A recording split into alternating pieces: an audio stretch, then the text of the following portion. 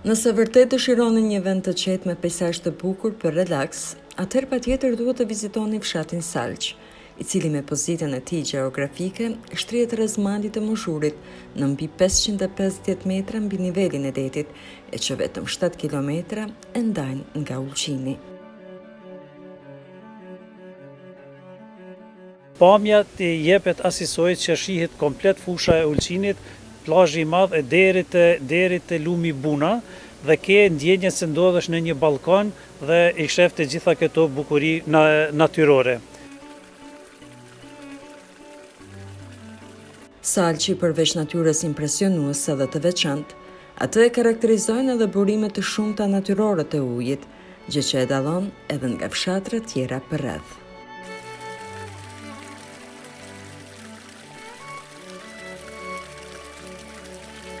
Vendësit tregojnë për një për një burim të ujit, të cilët e quajnë në një vend të quajtur me shkallë dhe aty thuhet se ka qenë burimi shumë i madh i ujit, Dhe është detyruar që vendasit që të shkojnë dhe gradualisht ta mbyllin, si të themi, atë venddaljen e ujit, pasi që shtypja ka qenë shumë e madhe dhe ndoshta u shkaktonte edhe dëme të konsiderueshme. Sipas hulumtimeve, në Salç janë identifikuar rreth trembëdhjetë burime, e të cilat së bashku kanë krijuar edhe Prockën e Braticës. Vetëm në këtë rrethin shumë të afërt janë diku trembëdhjetë burime të ujit këto të cilat i ka evidentuar profesor doktor Maksut Haxhibrahimi, domethënë simbas Maksut Haxhibrahimit ndodhen trembëdhjetë kroje të ndryshme të cilat e furnizojnë me ujë jo vetëm fshatin por këto burime ujit krijojnë edhe prockën e Braticës ku dikur kanë funksionuar nga ky ujë i cili vinte domethënë prej Salçit kanë funksionuar dymbëdhjetë mullinje të cilat kanë bluar grunë e gjërat e tjera dhe dimë se këtë katër mullinjet e fundit të cilat kanë punuar nga kjo, nga kjo prockë janë shembur me tërmetin e fundit e vitit 1979.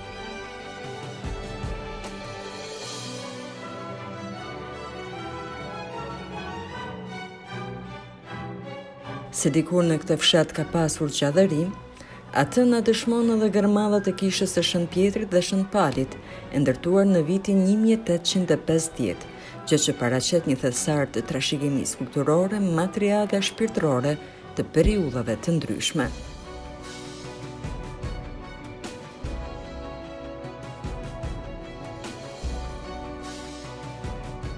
Kjo kishë është ndërtuar në vitin 1850 dhe e ka ndërtuar sipas mbishkrimit mbi portën hyrëse, shkruan që e ka ndërtuar Dom Anxheli, frat i cili ka jetuar dhe punuar në, në këtë trevë. Dhe data tjetër e cila shënon në gurin, në mbishkrimin, domethënë lart portës, thotë se në vitin një mijë e tetëqind e tetëdhjetë e pesë e ka rikonstruktu apo e ka zbukuru Don Antoni, njëjti frat i cili ka punuar në këtë kishë.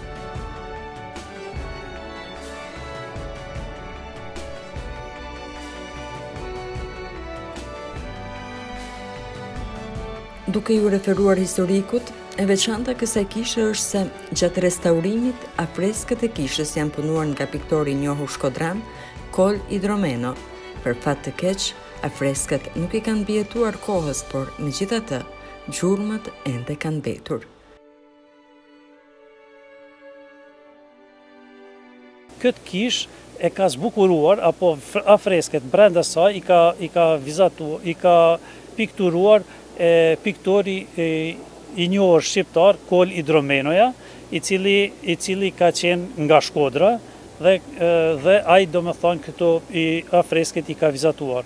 Ai ka ka jetuar domethënë për këtë punë e cilën është dashtë ta kry ka jetuar diku një vjet e diçka në Ulqin, megjithë që Shkodra ka qenë shumë afër, ai ka jetuar këtu dhe i ka punuar i ka punuar këto afreske dhe nga kjo periudhë gjithashtu në Galerinë Kombëtare të Arteve në Tiranë gjendet një pikturë me motiv nga Ulqini i cili quhet Shkrepi i Ulqinit në këtë kishë famullitar nga viti një mijë e nëntëqind e gjashtëdhjetë e gjashtë deri në vitin një mijë e nëntëqind e gjashtëdhjetë e nëntë Ka qenë Rrok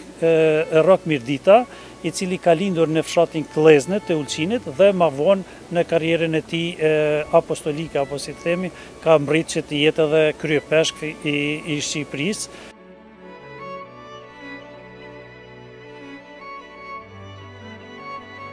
Dikur Salçi ka numëruar rreth 35 shtëpi, por me tërmetin e vitit 1979 e bëri këtë vendbanim të boshatiset duke emigruar për një jetë më të mirë. Megjithatë, Salçi me motivet natyrore ofron mundësi të mira për zhvillimin e turizmit rural, turizmit sportiv dhe agroturizmit.